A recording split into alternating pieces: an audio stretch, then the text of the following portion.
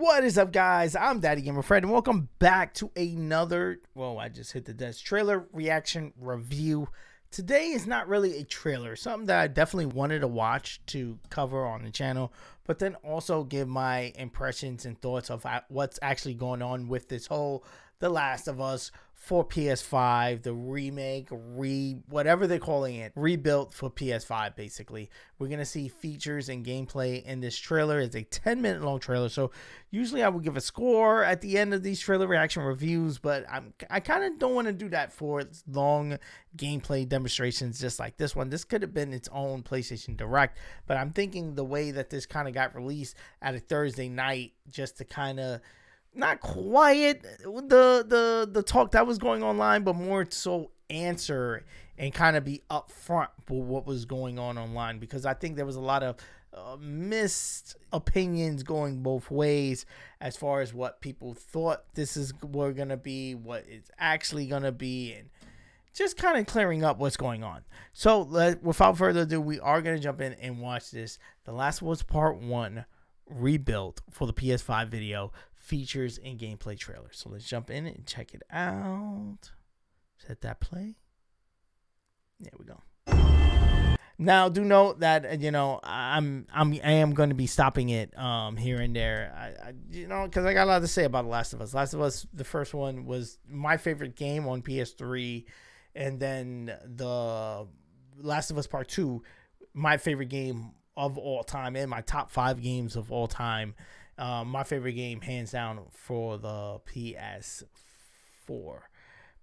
Played it on PS4, even though it's on PS5 now. I am going to do a replay through of that after this. After I replay part, Last of Us Part 1, I'm going to go right into Last of Us Part 2, try to get that platinum. I say get that platinum, but I never gotten a platinum. of any I'm game, coming. right? More than two years ago, when we were finishing Last of Us Part 2, and we are working on those flashbacks within that scene for the first game, we mm-hmm. got excited with the idea of like, oh man, what if we made The Last of Us Part 1 to look as good, if not better, than what we have done with Last of Us Part 2, which mm. really pushed the boundaries of like what we could do from gameplay and a graphical standpoint. He wanted it. Like he wanted if we it. do that, we could actually come even closer to our original vision of what the first game would have been had we not been constrained by technology. Ooh. What was the original vision, though? The original creative vision of The Last of Us, I think in a lot of ways was larger than what the PlayStation 3 was capable of. The tech of the PS5, it's like an open box of, of tools and goodies that we can play from and draw from. The 4K, HDR, improved haptics, 60 frames, help us to reimagine The Last of Us. Ooh. Bad? It gave us opportunities wow. to rebuild our characters at the highest fidelity. Wow. Not only are the characters more detail. I mean, down to the yes. the irises and the pupil depth. You know, you fall into the eyes of the characters. Wow, it does look amazing. Aside from that, the facial animation is just way more believable. Like all the nuances, all the little subtle reactions, glances, yes. glares, right? Like you get all of it. Oh, this motherfucker. to sort of the original performances. So no matter what, you stick to me like glue. Like glue. Like glue. Like glue. Right, good. Good. We are able now to not only just have the highest fidelity characters in the cutscene, but also in gameplay. It's the same yes, character, so now we can do these yes. seamless transitions in and out. Every part of the game has benefited from seamless transitions and oh. emotion scripting. Ellie, Ellie, Ellie. Our stories happen in gameplay, on a stick. She knew my mom all this stuff is okay. designed to keep you constantly in this world. I never finished the DLC, man. I need no, to go back. Go. I can't wait to finish the DLC now. I can't wait. One of the things that the PlayStation 5 is really enabling Ooh. is that we're able to have a density of physics objects in a scene that we just we could never do before. Like this has always been the dream is to have this number of bumpables, chippables, breakables, destructible okay. objects in a scene. Just makes the world feel rich, makes it feel lived in. Okay.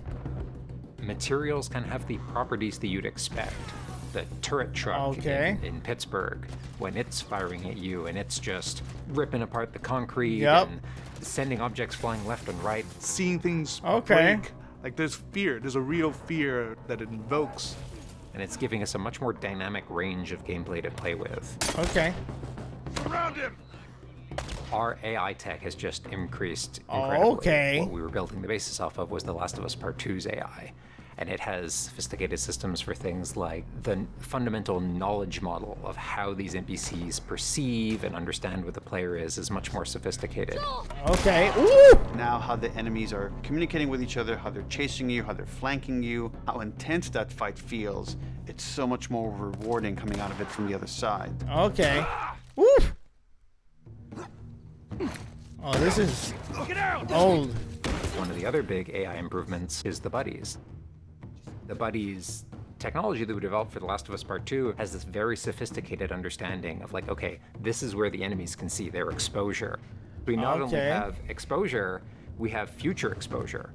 So buddies can know, okay, that enemy is walking forward and they're about to round this corner. So in three seconds, that corner is going to be exposed. So I'd better move now to avoid this enemy seeing me. Oh, This really lets the buddies make very complex uh, decisions and maintain that that feeling of stealth much more believably. Ooh, that is lit. Another that is lit. That is lit. is that we lit. This technology That called motion fire. matching.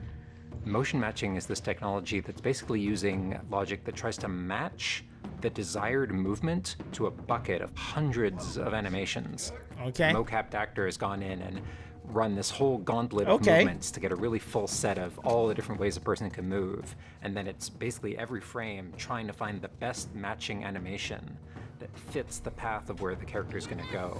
And this Oh, I hated this scene. gives this really seamless sense of transition. The player's movement is just a lot cleaner. Ooh. It's really smooth, organic movement through the space. Oh. Okay. all right. First, right. We just had to build that core experience. And then beyond that, we wanted to Oh add uh, several my features God. that fans have been asking for. Matrix. For example, Oh, we now have mode. permadeath mode. Permadeath. Fans have been asking for Along that, we got a permadeath. Brand new speedrun mode. Fuck players outta can time here. themselves. There's a whole Okay, community of speedrun, gamers that just want to yes. see how fast they can play through this game. I Beyond understand we that. added a bunch more of unlockables. So Okay. there's all these different outfits for Ellie and Joel that, that That's people can cool. unlock. A model viewer mode, so people can really appreciate the details. Model viewer. Award-winning accessibility features. Every single Okay, accessibility, accessibility option that feature. we offer, that's a barrier removed for someone. That's As cool. That's cool. Accessibility is cool. wander to Joel. She steps past the couch. He wears the wristwatch Sarah gifted him, which now has a cracked face. To my knowledge, this is the first PlayStation game that has audio description built into the game, built into the cinematics. I might have to Now play nighttime. that. Joel to- stirs in his sleep. And that's really the way we've tried to push the frontier of just accessibility. in in case game. there's extra shit that I'm missing, bro. Like that's dope, bro. That's fire. So much of the identity of The Last of Us is the world. Yeah, the world is, looks incredible. We revamped completely the art direction.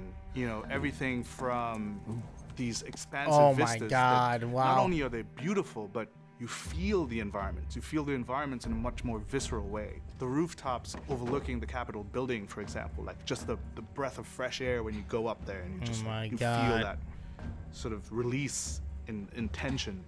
And then, you know, to juxtapose that down in the, the tunnels in Wilds and you get that dank, flooded mm-hmm. tunnel feel, that humidity, you can actually feel it. All these You can feel it. I bet. I bet you can feel it.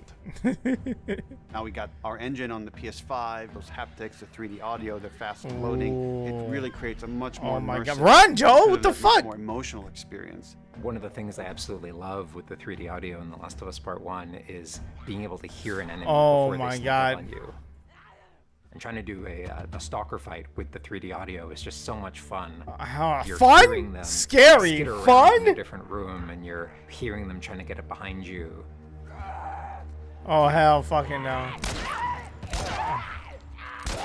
Having that two-part reaction of like hearing, turning, seeing, reacting, it, it's just No, really you hearing and then you react. You are in this character. You are in this world. now, with the PlayStation 5, the amount of control that developers Oh, have come over on. the DualSense. It's really, really cool. All the guns in the game have a variable amount of resistance on the triggers when you aim them. The way it works with the bow is Oh, hell no, I might have to turn that off. bow, there's a little bit of resistance. And then as the bow gets tauter and tauter, the amount of resistance is increasing. And then when you release the bow, you're also getting that resistance going out of the trigger. When you are aiming and oh. firing the shotgun, you're going to get a haptic vibration on the shot. And then, what I think is one of the ways that the DualSense really advances things is you're going to get a haptic vibration on the pump of the shotgun. Oh my And god. what's much more sophisticated about that on the DualSense is that Ooh. in effect has a little like speaker in it, and it's playing an, an audio file that comes through in the vibrations, and those two beats is what you're going to feel on the controller. But I'm uh, I'm gonna turn the, the sound off. This also ties in to the new workbench. I want I want to I want to So hear it. seeing No. Joel taking apart a gun or screwing something in or putting a new stock on a gun. That moment where he's like jamming that on, you're gonna get that haptic feedback on that. Oh, okay. We have, you know, haptics Ooh. all across the board, you know, for all the moments you kind of expect for Oh clambering, my God. jumping, landing, meleeing, getting melee, like all those Ooh, kind of I hate this snow part. have represented. in the games. Oh my god.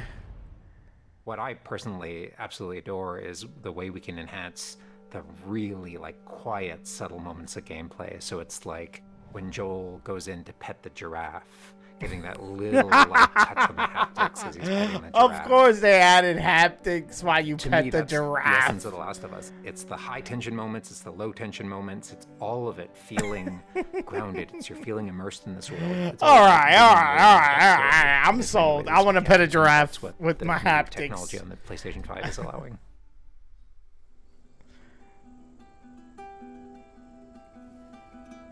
Was that everything you hoped for? Jury's still out.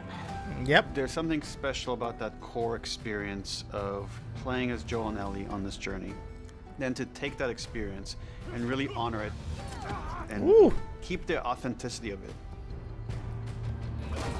But elevate it in every way possible, whether it's pipeline, whether it's art direction, whether it's a technology, everything that allows us to make that experience better. Not different, Ooh. extremely better. That's why to me this is the definitive way to play The Last of Us. Okay. Not different. Better. Not different. Better. I'm I'm kind of still on edge. A lot of stuff that we've seen, while it has been looking great, the the the big what the fuck. This is not a remake.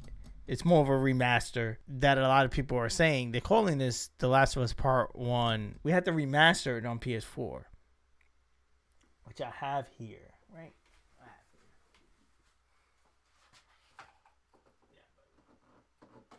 It's holding up, it's holding up my my little guide that my daughter made for me, which you probably never see. You probably don't care. Well, I have the The Last of Us. This is the remastered, right?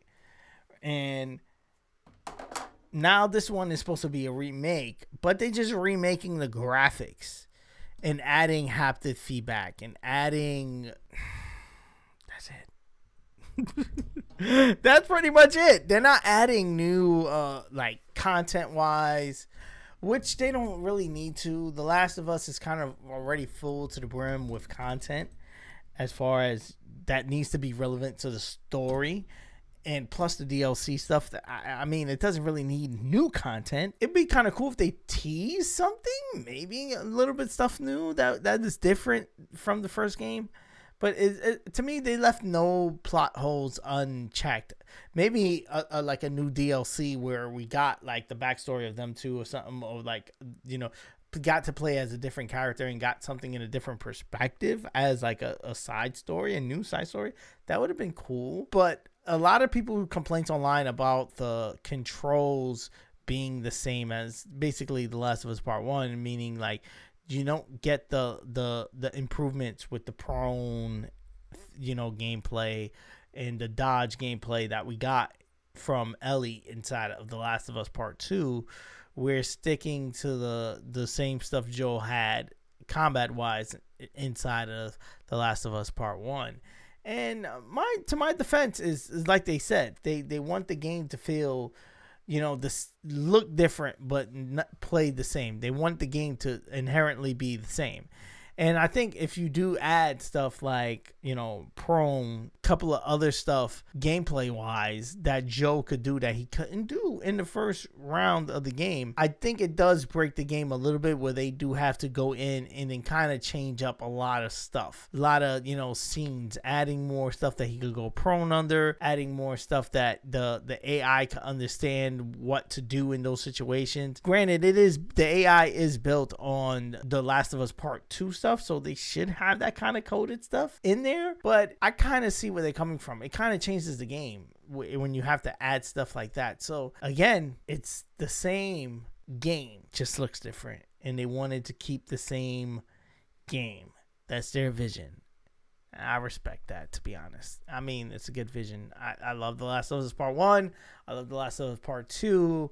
I can't wait to replay The Last of Us Part One because I again I can't go back to this. I can't. I tried and I get so far in it and I I'm so I'm I'm so done. This is this version is good to play for me anyway when I'm when I when I need a Last of Us fix and I got my PS Vita out and I remote play from the PS4, PS3 and then I play it that way. Not the greatest experience, but definitely a dope in bed mobile experience if you need uh, to have a Last of Us mobile experience. And that scratched my itch for that. And I did that a couple of nights and never went back to it after. But again, that's that's why I feel this game needs this needs this re- remake. Granted, how much of a remake it actually is, it's it's definitely up to the eye of the beholder. But let me know what you think in the comment section below. I'm excited. I'm gonna replay it definitely I'm getting it day one and definitely starting my playthrough here on the channel. So again, if you're interested in watching playthrough it, you could catch those videos here. Let me know what you think of The Last of Us remake for PS5 in the comment section below. Like always, guys, I'm Daddy Gamer Fred, so let's have that conversation down there. If you're new around here, consider hitting that subscribe button. I do videos like this every day, talking The Last of Us trailer reactions, Pokemon, Call of Duty, Fall Guys, whatever I feel like dropping the vibes on, I drop it here on the channel. So again, consider hitting that subscribe button. Also, hit the like button. It does help me out a ton as far as moving these videos into recommended so other people can check out the videos. Peace. I love you guys. I'm going to see you guys on the next one.